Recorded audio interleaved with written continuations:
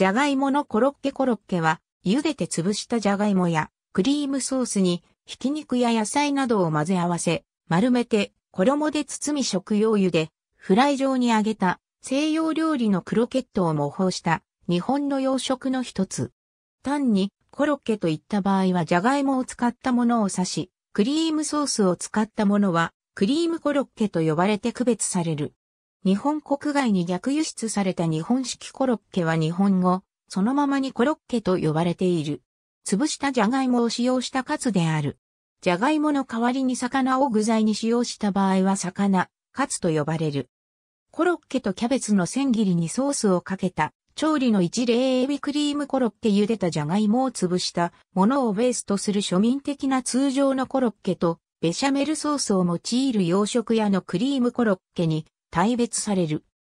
これらの種にポテトコロッケは、ひき肉、みじん切りの炒め玉ねぎ、クリームコロッケはカニなどの魚介類などを混ぜ込み、俵型や小判型、勾玉型などに成形した後、小麦粉、溶き卵、パン粉の順で衣をつけ、食用油で揚げて作られる。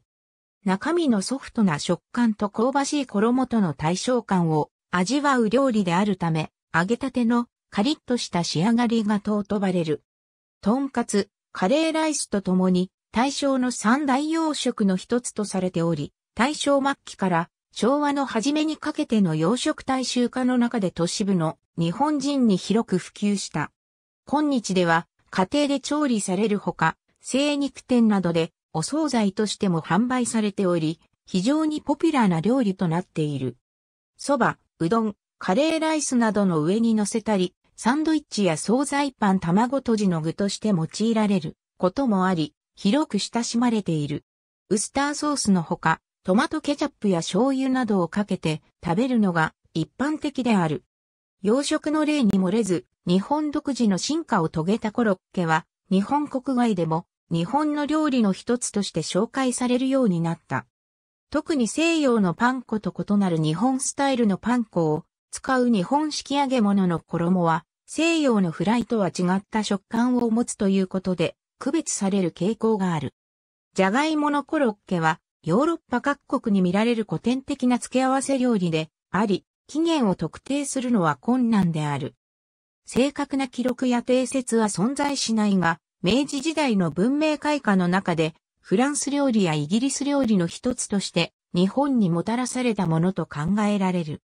フランスのクロケットはホワイトソースのアパレーユにパン粉をつけて調理したもので、現在の日本のクリームコロッケと同じである。しかしながら、フランス料理の場合、油で揚げるのではなくもっぱらオーブンで調理される。1895年の女性誌、助刊には、このクロケットをジャガイモを使ったコロッケと対比して、それぞれはもはや別の料理と書かれている。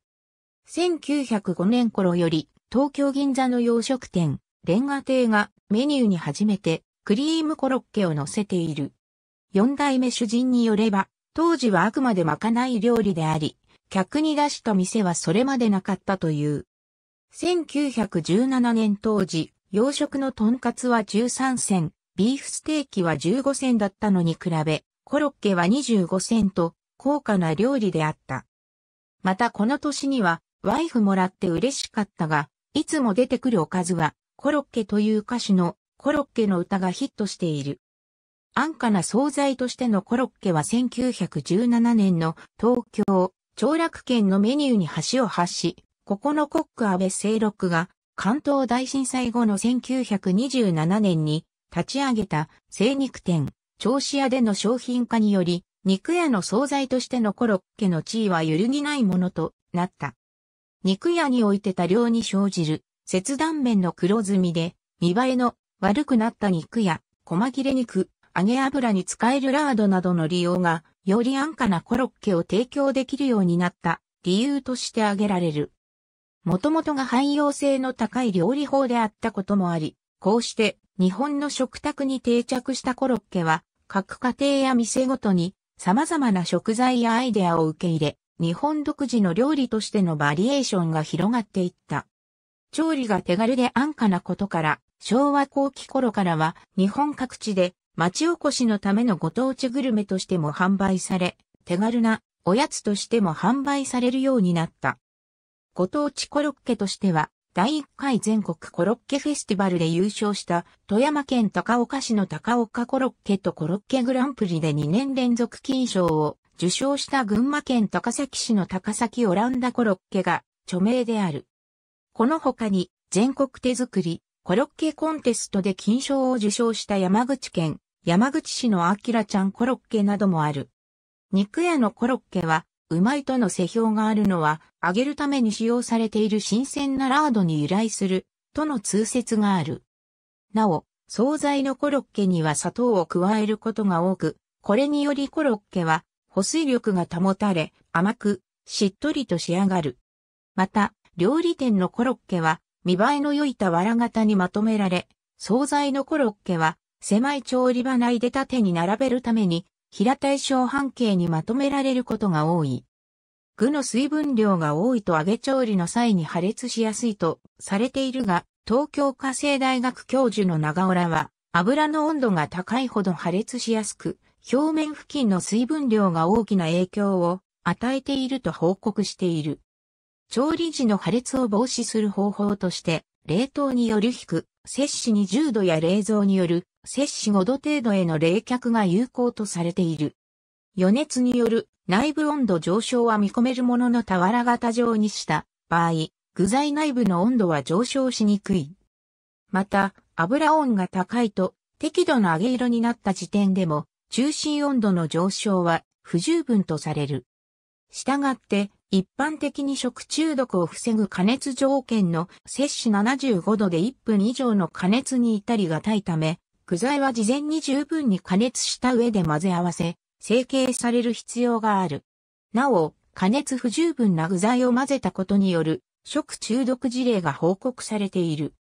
また、市販品冷凍コロッケに表記されている調理条件1回5分の加熱調理では内部の細菌類は不活化されていなかったとする報告がある。主となる具材や混ぜる材料によって様々な種類がある。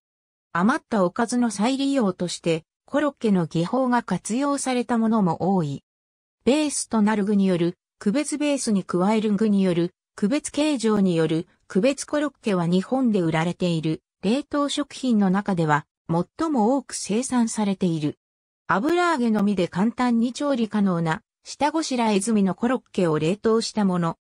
解凍せずに油揚げ調理すると、表面と深部の温度差により具が噴出する場合があるので要注意。近年では揚げ物の健康面を考慮する消費者が多くなったことから揚げずにオイルスプレーで油をかけ、オーブントースターやオーブンで焼き上げたり電子レンジで温めて調理が完了する冷凍コロッケも開発されている。ありがとうございます。